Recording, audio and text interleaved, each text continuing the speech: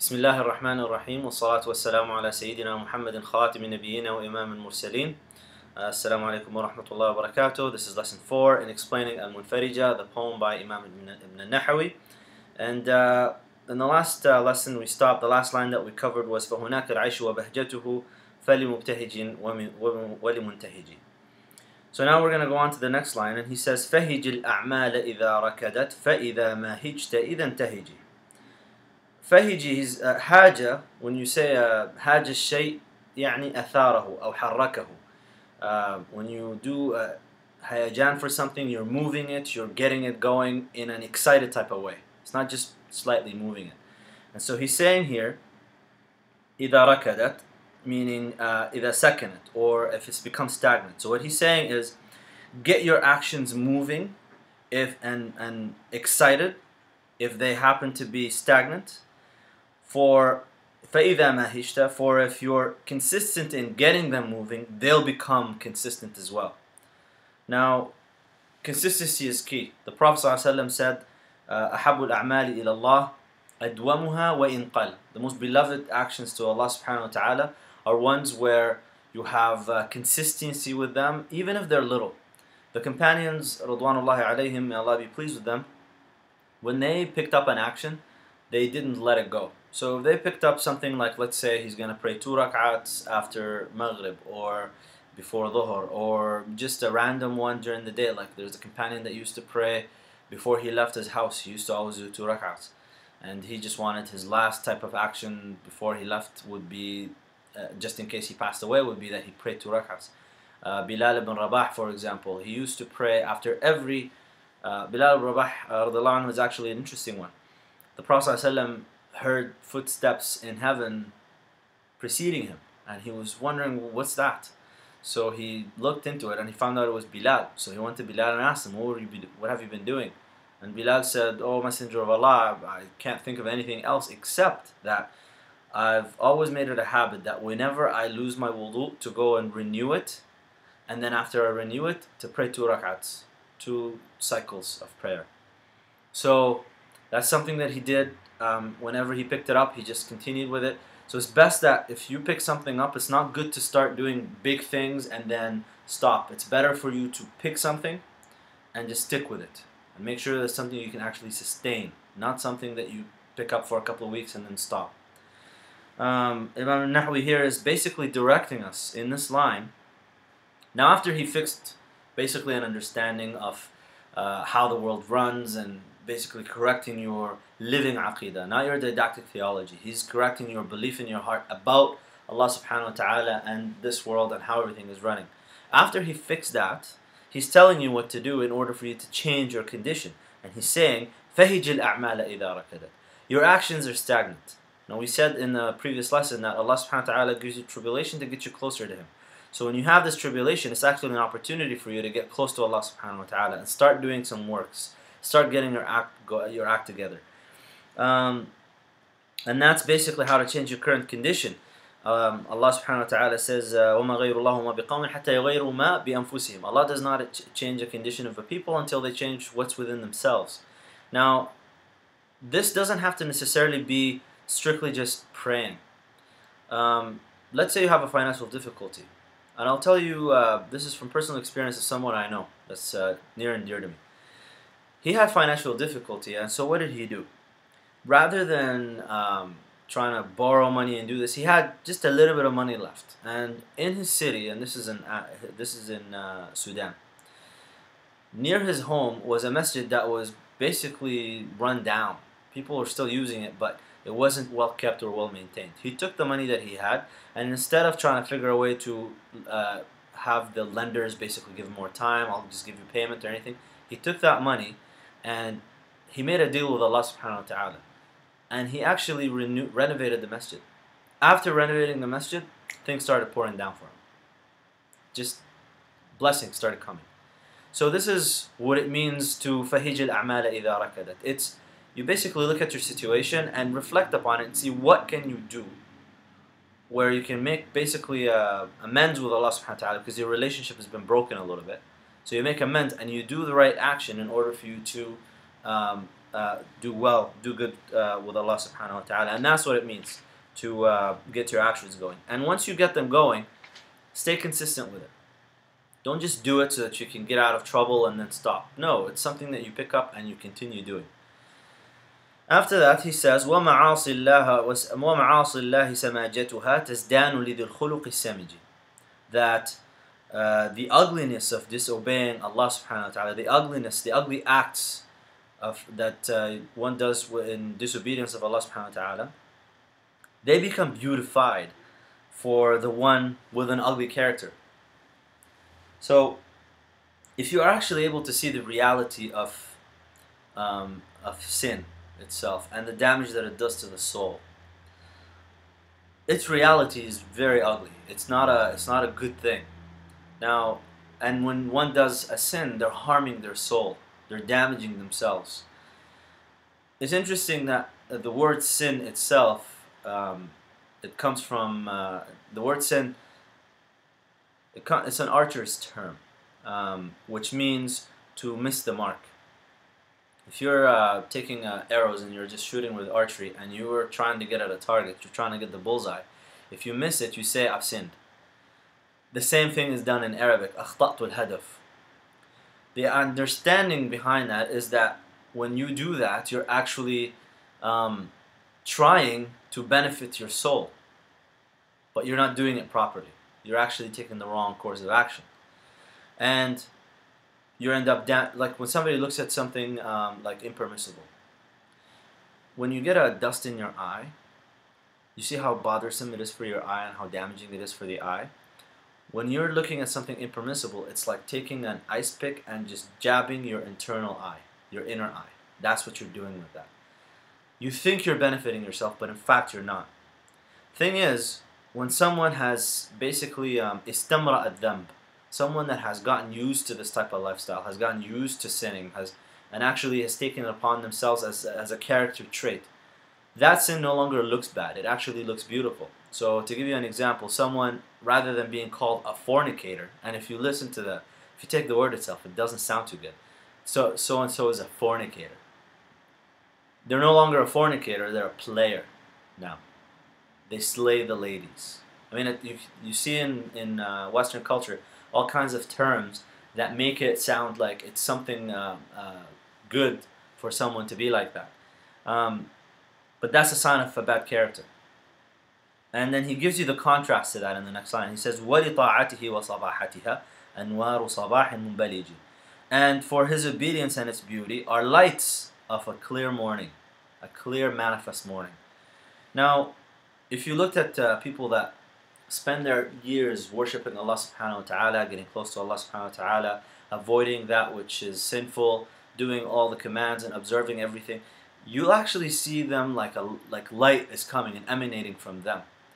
It's the beauty of obeying Allah subhanahu wa ta'ala. If you see saintly figures, um, people that have spent years and years in prayer and in uh, Quran recitation, you actually see the effect of it on their faces. Whereas people that spend their years in uh, hedonistic lifestyle, you see the negative aspect of that. Uh, case in point, look at somebody like a saint and compare them to somebody like a rock star that spent their years just you know, doing everything that their ego and lower self wants, whereas someone that's been fighting it. And you'll see the difference. Someone that has spent their years in life in obedience of Allah subhanahu wa ta'ala, it's just light and beauty emanates from them.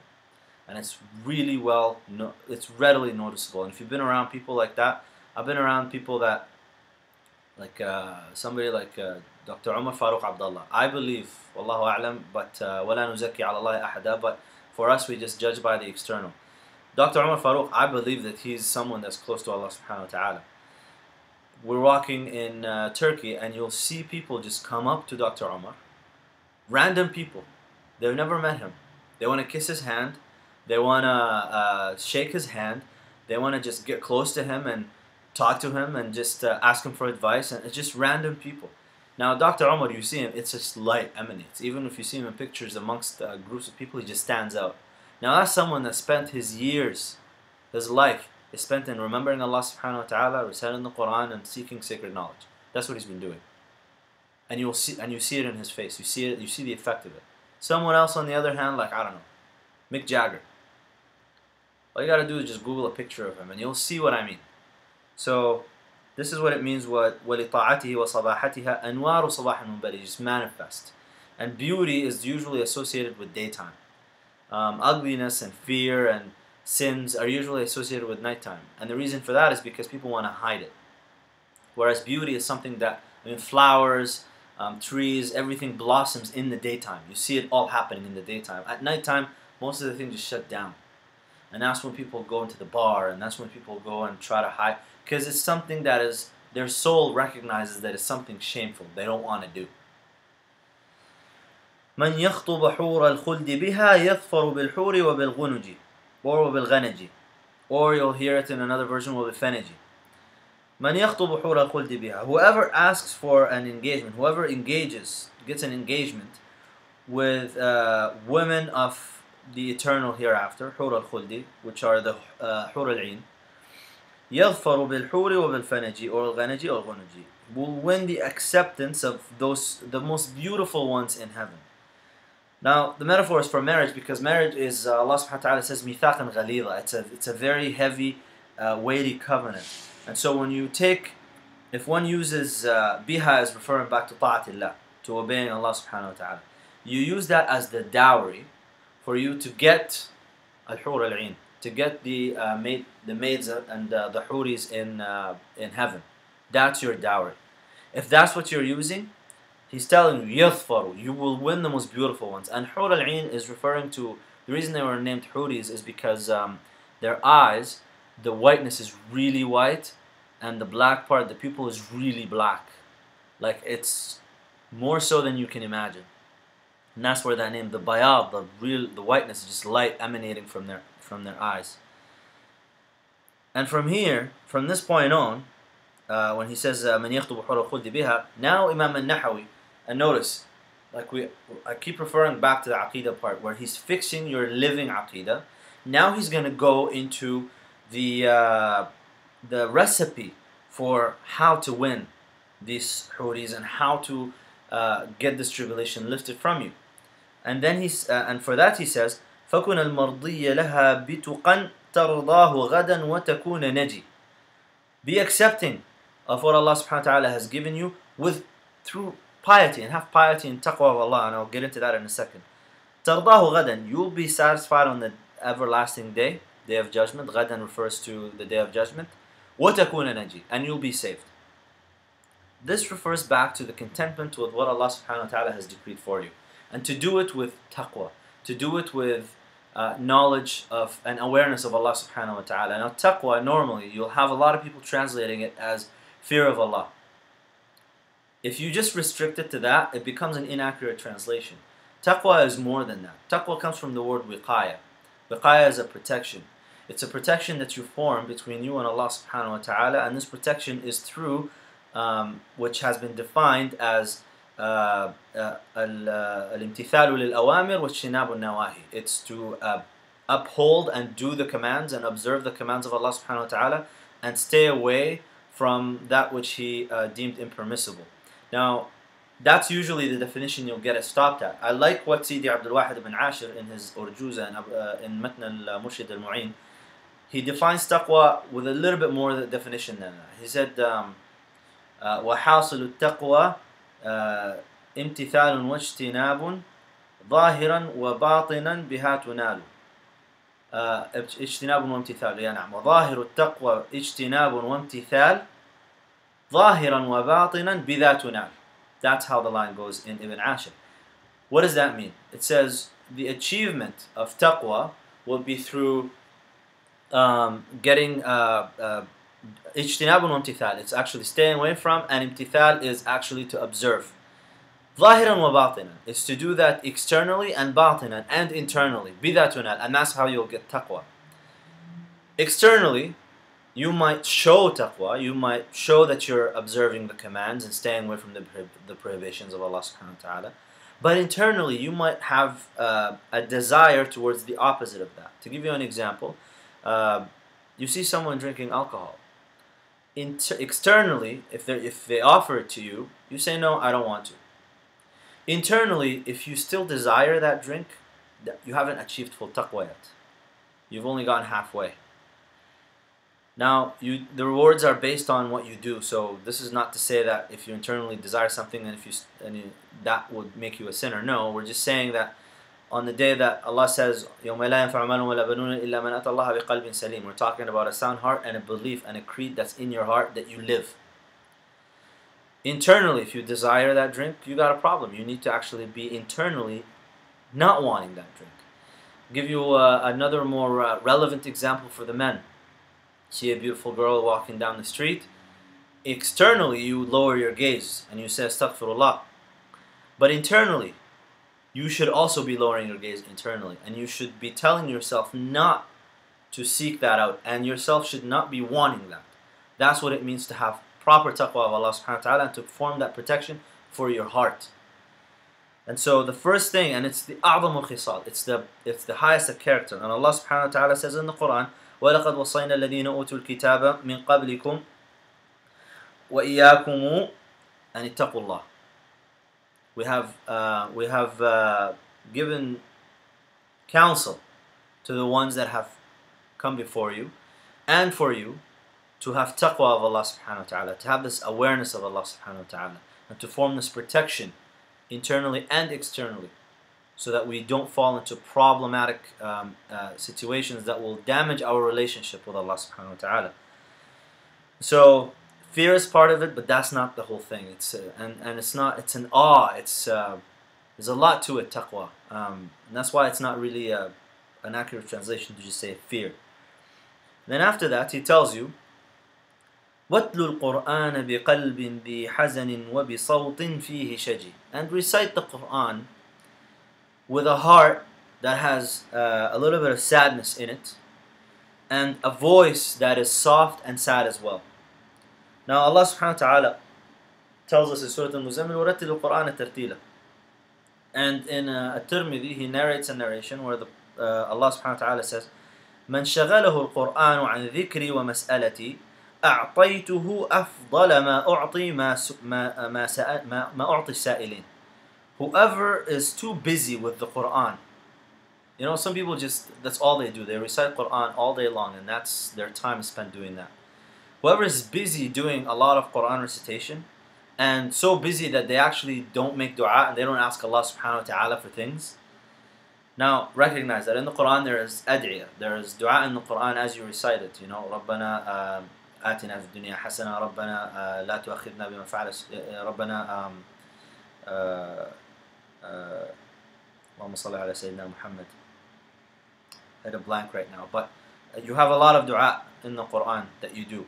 Um, as you do these dua, you're making dua, so you're not losing out on the dua. But Allah here is telling you that whoever is doing so much Quran that you forget to start asking me for things that you want, because you're being busy with the Quran, Allah will give you the best of what He has given people that do ask for things.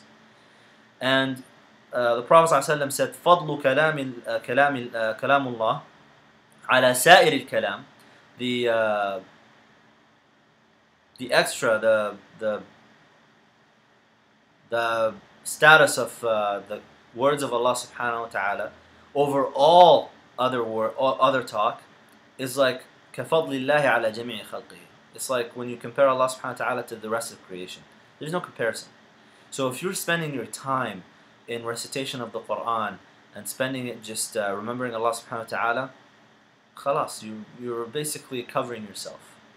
Um, and whatever calamity you have upon you, it will just be lifted if that's what you're busying yourself with.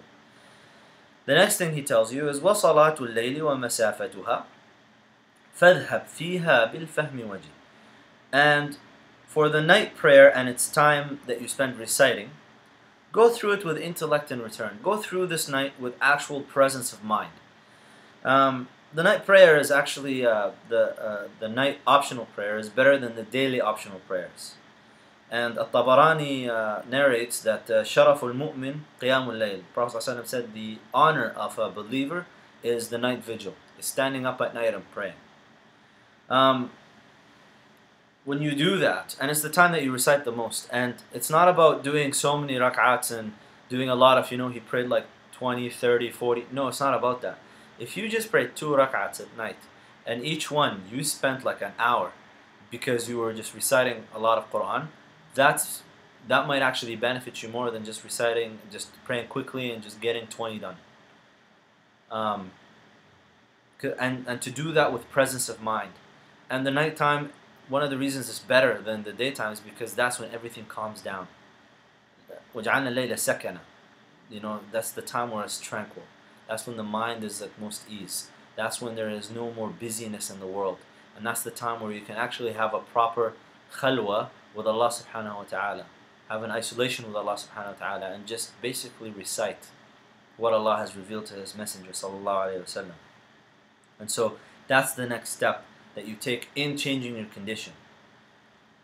وتأملها ومعانيها تاتي الفردوس وتنفرجي and reflect upon it and its meanings you'll arrive at paradise and be relieved now reflecting upon it meaning reflect upon the purpose of what you're doing what is the purpose behind the night prayer and the night vigil and upholding these things and reciting the Quran and what is the meaning that you're getting from reciting the Quran in addition to the meanings that you derive from your reflection upon whatever it is that you're reciting.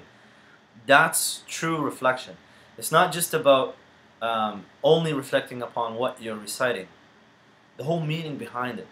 When you do your ruku' when you do your sujood when you do your standing for Allah subhanahu wa ta'ala the purpose is behind every action that you're doing. The purpose behind even the meaning behind Allahu Akbar. To even reflect upon that he's telling you that you need to basically put your A game on and get your reflection uh, antenna on to its most clear uh, station so that you can get the most out of it and only through that uh, you will actually experience the change in your state uh, At-Tirmidhi narrates uh, the Prophet ﷺ says عليكم بقيام الليل عليكم بقيام الليل take upon yourselves the night vigil and standing up at night and praying فإنه دأب الصالحين فإنه دأب الصالحين من قبلكم for it is the way of the righteous ones that have come before you و ومقربكم إلى ربكم and it brings you nearer to Allah subhanahu wa ta'ala it brings you closer to Allah subhanahu wa ta'ala you don't have all these distractions in the daytime at night time you can get closer to Allah subhanahu wa ta'ala ومكفرة للسيئات and it expiates the sins the minor sins that we do ومدرأة ومدرئة ومدرئة الداء ومطردة ومطردة للداء عن الجسم and it basically wards off the illness and the harm from the body. It's interesting, they've actually done a study recently that um, in the past people never slept for eight continuous hours. And we're talking about Muslims, non Muslims. The, the ancient people, the way they slept was they would sleep a portion of the night and then they would get up for the last portion and continue about their day. And they would just have a nap in the daytime. So, and it's actually healthier for you to do this. To sleep continuous eight hours is actually oversleeping. Um, pop culture is not always right when it comes to this. Uh, وَمَنْهَاتٌ عَنِ الْإِثْمِ And it stops you from committing major sins. When Allah says, إِنَّ الصَّلَاةَ تَنْهَى عَنِ الْفَحْشَاءِ وَالْمُنْكَرِ وَالْبَغْيِ يَعِظُكُمْ لَعَلَّكُمْ تَذَكَّرُونَ What does that mean when uh, Allah says uh, that prayer uh, تنهاكم, it stops you from, it wards you from عن الفحشاء والمنكر والبغي major sins فحش فحش الشيء is like something that's manifestly wrong it's not just something minor we're talking about something majorly wrong وال uh, والمنكر منكر ما انكره القوم what the people actually don't don't accept as part of the custom and it's something that's also a transgression uh, baghi is oppression how does prayer ward that off It doesn't do it just through the act of it there's a lot of people that you see, and I can, you know, everybody can think of people that pray all the time, but when they go in their business transactions, they cheat everyone. When they go home, they're oppressing their family, um, and when they deal with people, they deal in the most negative and, uh, you know, aberrant of ways with people. That means their prayer is not being conducted properly. If your act of worship, if you come out of your act of worship, uh, either as an unchanged person or as uh, having not experienced change before and just come as uh, either worse or the same, you got a problem with that act of worship. It's not. Uh, it could not. It might even not be as uh, accepted because there was no sincerity in it. When you're really reflecting, and when you're really into it, and you really uh, get the meanings and the purpose behind what you're doing physically and what you're reciting, and what the meanings are, that is going to stop you. It will become an internal kind of uh, check for you. Um, and that's what it means by manhatun al ifmi. And then he says, and this will be the last line we'll cover, وَاشْرَبْ تَسْنِيمَ And drink from the tasneem uh, that's uh, being gushed forth uh, with mixed and unmixed drink. Tasneem is a spring in heaven. It's a ayn in heaven. And um, the close, يَشْرَبُ مِنْهَا الْمُقَرَّبُونَ uh, It's uh, the close servants of Allah subhanahu wa ta'ala, the awliya, this is what they drink from. Now, the drink is called tasneem because it actually flows in the air and then comes into the cups of the uh, believers. So it literally flies up in the air and then comes down. That's what the name tasneem comes from. Mixed and unmixed. Some will drink it pure, not diluted. There's no diluted in it. Uh, there's no dilution in it, and that will be for the real close ones. Uh, Al abrar will drink it a little bit diluted and mixed with other things. Both of them will be from the winning uh, group, anyways. But the closer you are to Allah subhanahu wa ta'ala, the more pure the pleasure that you experience in heaven will be. And so this is basically the, the manhaj. If you notice, he spent a few lines, you know, before that, correcting aqidah Just getting the aqidah corrected and just making sure that you believe uh, your belief about Allah subhanahu wa ta'ala and the world is proper. Once you get that settled down, after that it's no big deal. All you have to do is فَكُنَ مَرْضِيَ لَهَا بِتُقًا تَرْضَاهُ غَدًا وَتَكُونَ نَجِي And then after that, وَاتْلُ قُرْآنَ بِقَلْبٍ ذِي حَزَنٍ وَبِصَوْتٍ فِيهِ شَجِي And then after that, وَصَلَاةُ اللَّيْلِ وَمَسَافَتُهَا فَاذْهَبْ فِيهَا بِالْفَهْمِ وَجِي And then وَتَأَمَّلْهَا وَمَعَانِيهَا تَأْتِ الْفِرْدَوْسَ وَتَنْفَرِجِ And وَاشْرَبْ تَسْنِيمًا وَفَجِّرِهَا لَمُمْتَزِجًا وَمُمْتَزِجِ that's it. You'll actually even the last one, you'll just end up washrab tasneem. You'll end up winning and drinking from tasneem. So the actual acts, a lot of Muslims, the, the problem that we have today is they feel like the only thing that will get you close to Allah subhanahu wa ta'ala is simply through just prayer. And there's actually a lot more to it than that. There are people that pray minimally, but their state with Allah subhanahu wa ta'ala is higher than people that pray a lot. And that is due to what their heart is actually uh, taken in and settled into it. So this is what this poem is about. It's just correcting aqidah and then getting you to do the right actions um, before finally making the dua, which is inshallah what we'll uh, get into. We'll finish off the poem in the next lesson. Um, so just the lines again that we covered today. فهج الأعمال إذا ركدت فإذا ما هجت إذا انتهجي.